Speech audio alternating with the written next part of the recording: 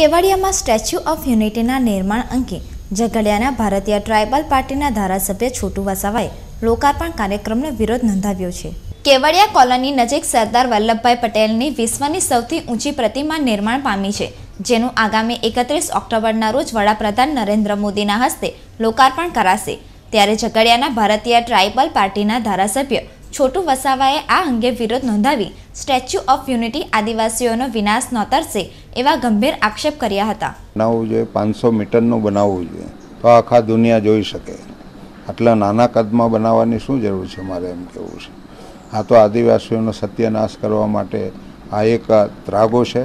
નરેન્દ્રભાઈ મોદીનો બે હજાર ઓગણીસની ચૂંટણી જીતવા માટેનું આ એક સપનું છે એમનું, પણ એ સાકાર થવાનું નથી. એમને જે દેશની અંદર જે જે નોટબંધી કરી છે, જીએસટી લાગુ કરી છે, એનાથી આખો દેશ પરેશાન છે.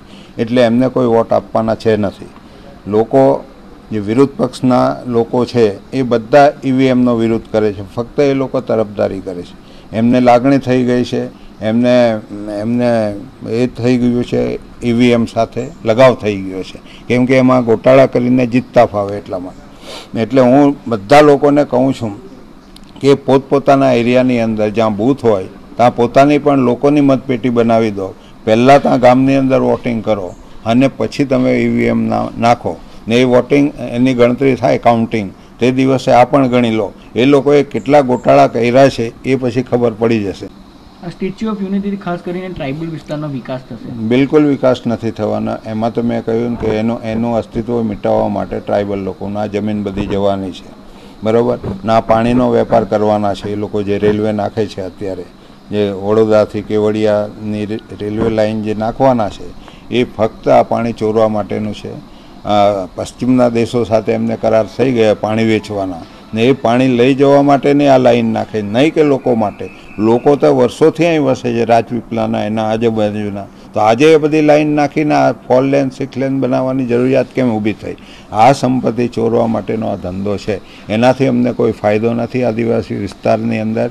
ના આદિવાસી વિસ્તારને ખતમ કરવાની આ સાજિશ છે, આ પ્રોજેક્ટના નામે. એકત્રીસ તારીખે જ્યારે પીએમ આવી રહ્યા છે, ત્યારે શું રહેશે તમારી ના, એને અમે પીએમ ગણતા જ નથી. જે માણસ આખા દેશનો નખો જ વાળતો હોય, એ પીએમ શાનો હોય આજે દેશ દુઃખી હોય, હા એક માણસ સુખી નથી. આ દેશના વડાપ્રધાન પોતાની જાતને ગર્વથી એમ કે હું આ દેશનો વડાપ્રધાન. શરમ લાગવી જોઈએ જરાક બી, કે દેશની દશા આટલી બધી ખરાબ, જ્યાં શિક્ષણની હોય, બેરોજગારી હોય, લોકો બિચારા ફાફા મારતા હોય, આજે દેશની અંદરથી ભાગીને ક્યાં જાય, એવી નોબત ઊભી કરી છે. એમને કોણ વડાપ્રધાન માને મારે? કઈ રીતે વિરોધ કર્યા છે આનો કોનો? સ્ટેચ્યુ ઓફ યુનિટી નહીં જઈને વિરોધ કરશું કાળા વાવટા ફરકાવીને વિરોધ કરશું.